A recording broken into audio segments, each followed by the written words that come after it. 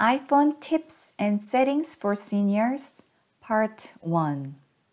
Hi everyone, my name is Rosemary, founder of TechAble Assistive Technology.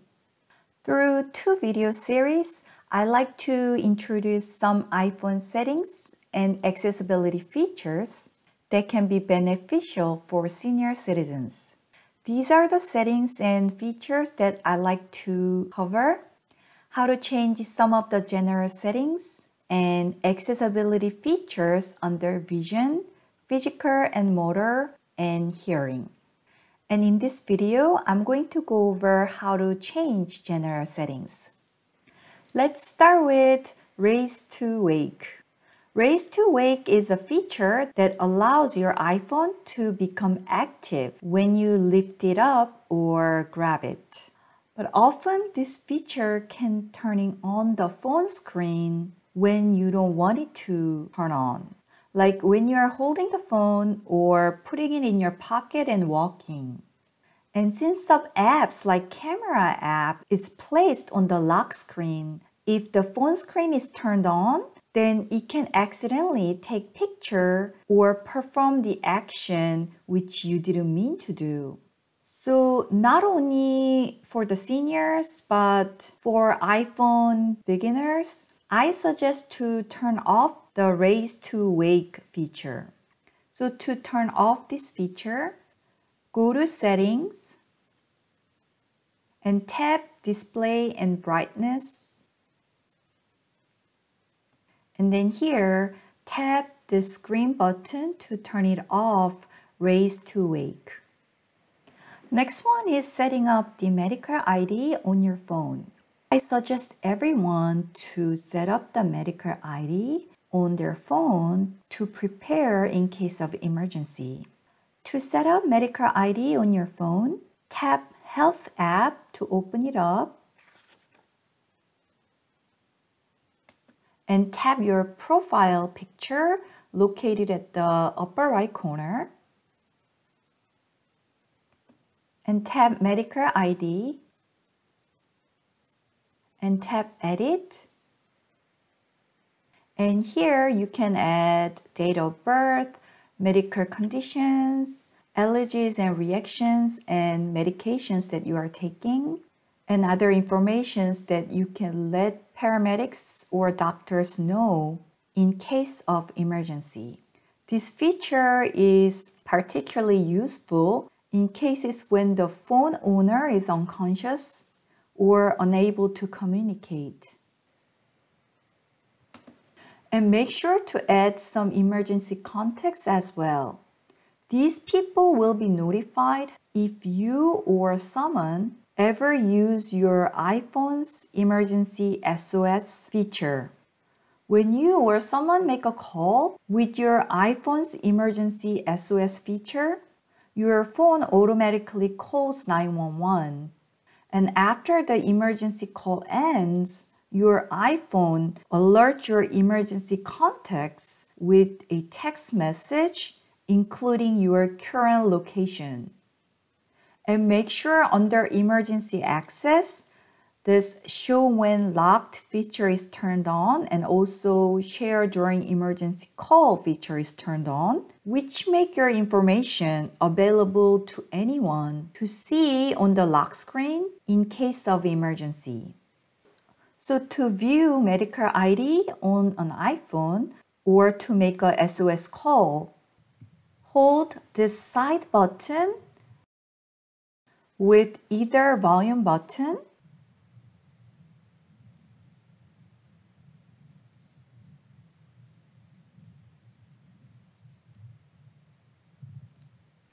Then slide across the medical ID option. Then as you can see, the medical ID is displayed. And to make an emergency call, after you hold the side button with either volume button, then you can slide across on this emergency SOS option.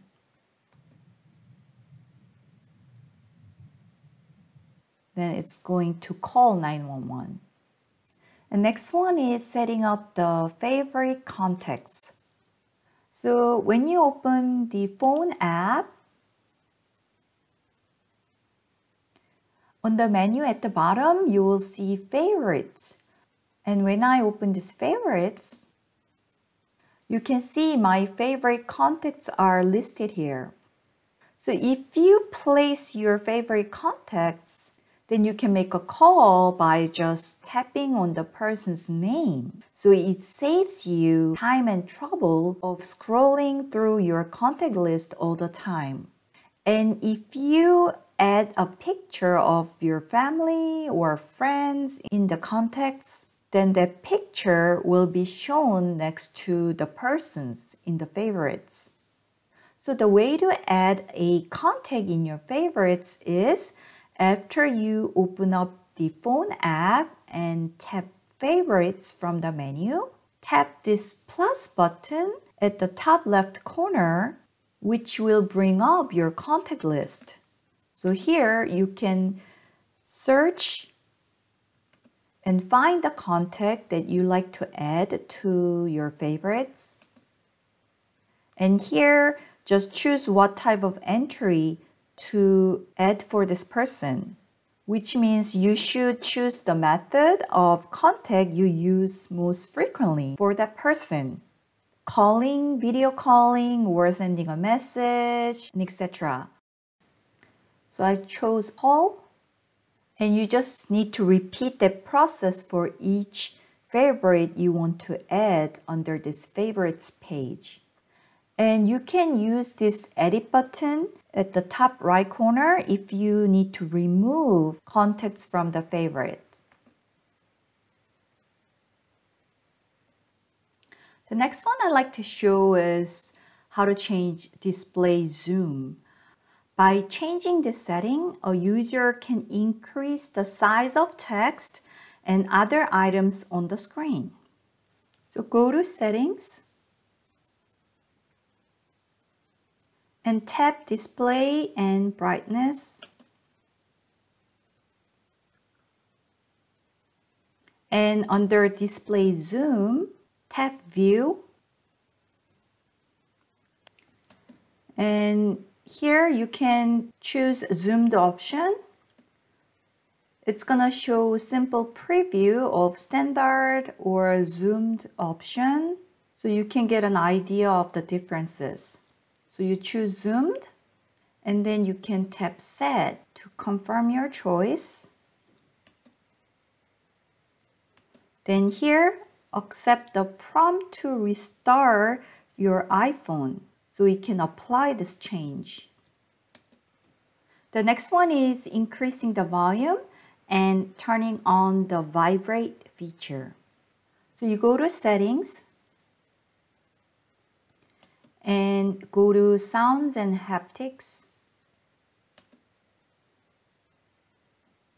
And here, turn on vibrate for both ring and silent. And you can also adjust the volume with the slider under ringer and alerts.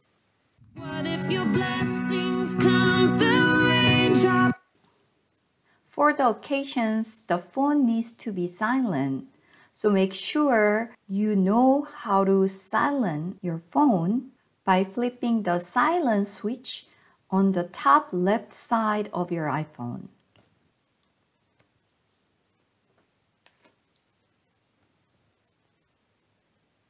So when orange color is showing, this means the iPhone is on silent. And you can flip the switch back up to turn on the ringer volume. Okay, so that's all I have for today. Thank you for watching.